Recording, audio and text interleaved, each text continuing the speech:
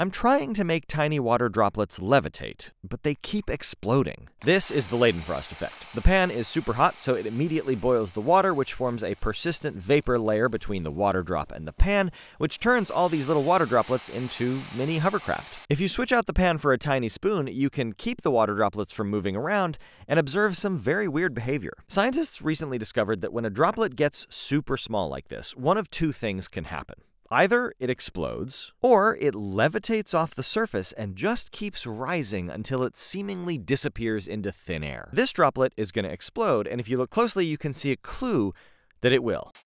Did you see the clue? Here's another droplet. This one is ethanol, not water, but it also is going to explode.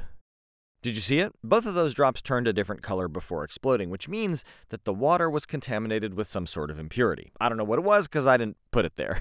it's just a mistake. Now, this, on the other hand, is water that a scientist contaminated on purpose with a little bit of sodium dodecyl sulfate.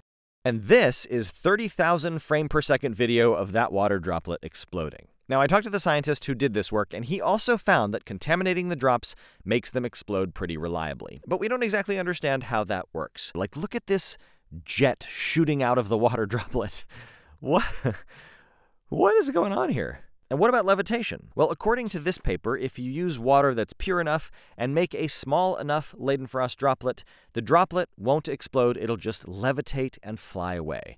And I really, really wanted to capture that on camera, but every time I tried, the droplet just disappeared without levitating, at least as far as I could tell with my paltry 240 frames a second camera.